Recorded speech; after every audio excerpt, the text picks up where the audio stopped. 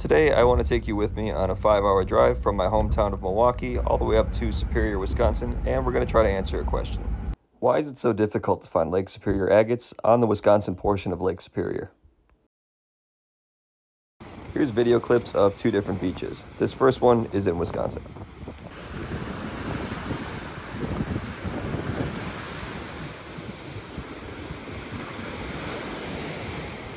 And the second one was in the Upper Peninsula of Michigan, both of them on Lake Superior. I had never looked for agates in my home state of Wisconsin before, but immediately I knew it was going to be a little bit of a challenge if the beaches looked like this.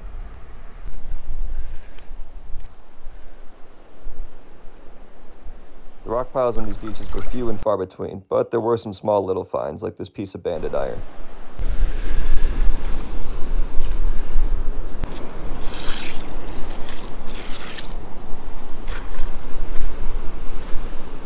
Because there's so much clay in the water, it's really easy to think you have an agate in your hand, but it's actually just quartz.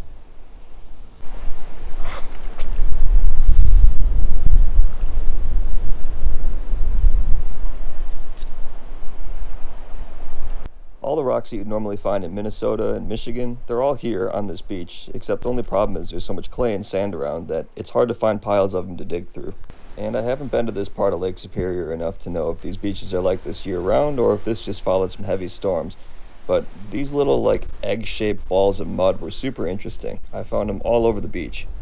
I apologize for a little bit of wind noise making the mic cut in and out. It's a brand new mic for me and uh, this is a pretty windy day, but I thought these were definitely worth showing. They're pretty unique.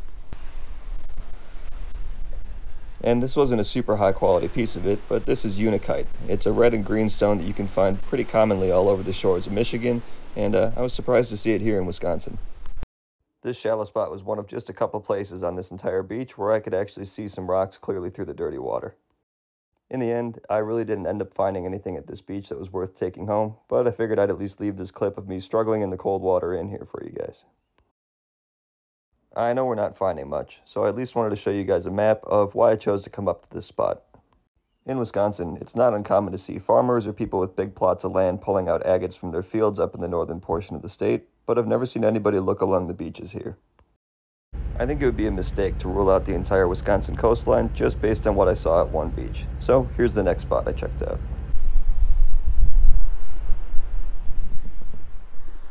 You know how it goes. Sometimes when you go to the beach to look for rocks, you find the best ones in the gravel parking area.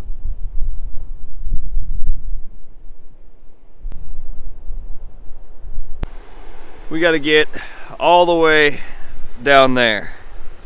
I think that's the way. Oh yeah, this is the kind of spot you want to get to. Whoa.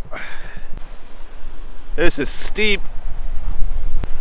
Shoes are already soaked. Figured we'd keep wearing these. Why not? Whew. And after all that work to get down here, I couldn't have been more wrong. Here's the only thing that I found. I think these are bear tracks. They have little nails above them. Well, not nails, those are claws. Alright. I didn't know how fresh those were, or much about tracking at all for that matter, but I did know that was my cue to leave. In order to actually find something when I'm up here, I decided to leave the beach and take this video in an entirely new direction. I'd imagine it might sound pretty bizarre if you've never looked for agates before, but there's actually quite a few people that have a lot of success looking on the side of county highways and dirt roads for agates. And believe it or not, within about 50 feet of hopping outside the car, I found this tiny little agate.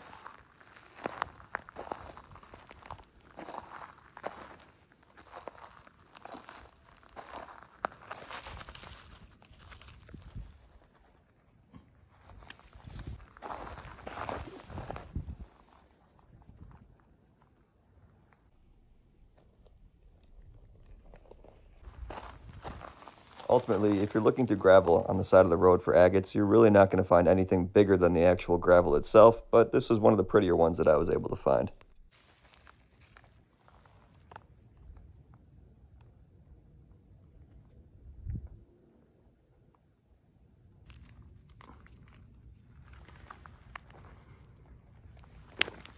This one was small and busted, but it was kind of unique. It was the outer shell of an agate, but then if you look close, it has like a, a yellow quartz crystal on the inside, which I hadn't come across before in a Lake Superior agate.